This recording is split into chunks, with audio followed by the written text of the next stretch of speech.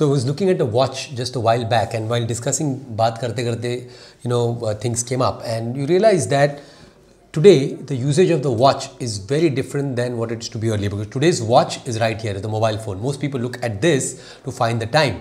So what's happened? Pehle, you know, uh, the watch, the value proposition of the watch years back was checking time. Value proposition today might be more like a fashion accessory I'm wearing an Armani today as a watch. Been here, I've been wearing this for a number of years. Uh, but the idea is today it's more of a fashion accessory than really looking at time. Sometimes what I think is watch earlier had functional value.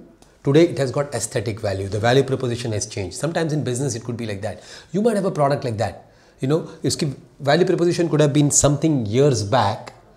Today the value proposition could have become different. See if that applies in your, uh, you know, for a product that you have because not necessarily it'll work all the time but you know value propositions can change. So adapt your marketing based on those value propositions. Thank you